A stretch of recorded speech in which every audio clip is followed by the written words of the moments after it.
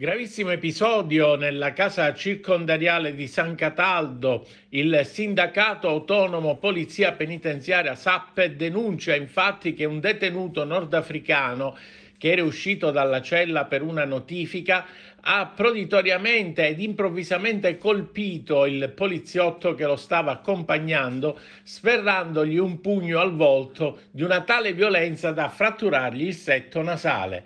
Calogero Navarra, segretario nazionale SAP per la Sicilia, evidenzia che il detenuto si era già reso protagonista di episodi di violenza durante un'altra carcerazione nella casa circondariale di Enna e tutto ciò è inqualificabile e grave. Il SAP ha più volte denunciato le continue criticità delle strutture penitenziarie della Sicilia che risultano essere veri e propri carceri di frontiera affollate da una parte di detenuti che restano poco inclini al rispetto delle regole ed hanno tentato in più occasioni di prendere il sopravvento con la violenza.